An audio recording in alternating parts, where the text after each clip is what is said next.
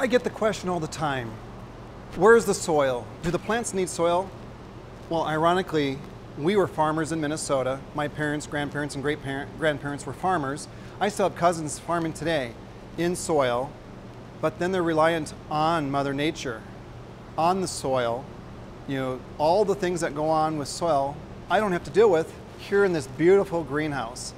I have 5,000 square feet of space and I can grow 10 times more in this greenhouse than in the soil. So, for example, this is 5,000 square feet.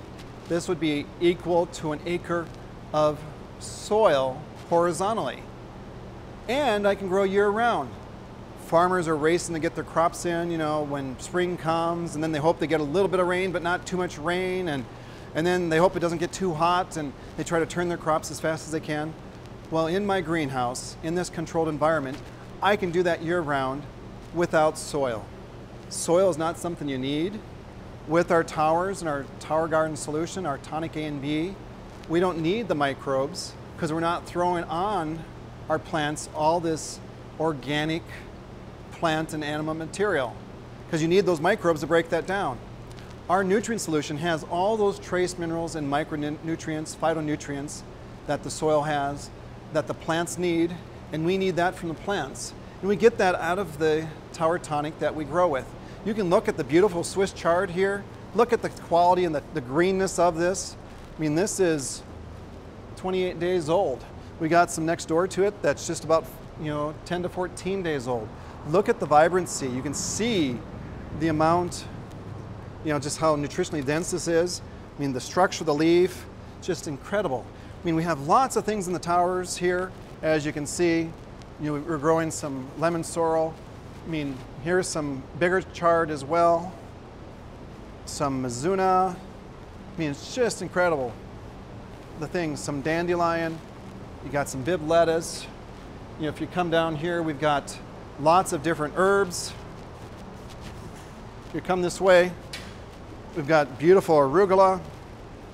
We're growing some strawberries beautiful celery. I mean, celery is just incredible off the tower, especially for all your juicers.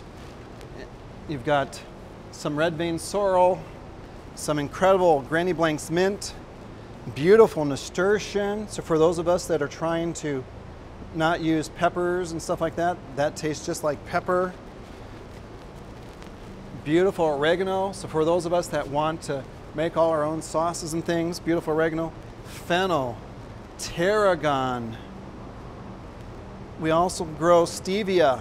For those that don't want to use sugar or artificial sweeteners, you can grow stevia. Beautiful plants that, um, you know, if you want to grow some plants, beautiful flowers that you can eat, growing some catnip. So you can do this all in the tower. Some beautiful spinach growing here. I mean, just keep walking with me, you'll see it lots of thyme. It's too bad you can't smell this. It's just incredible. The rosemary. I mean, when you grow it yourself without chemicals, using a nutrient solution that's got what 70 plus essential minerals and nutrients in it, the power of your produce, the smell, the fragrance, the taste, the flavor is incredible. I'll encourage you to try it. You won't regret it.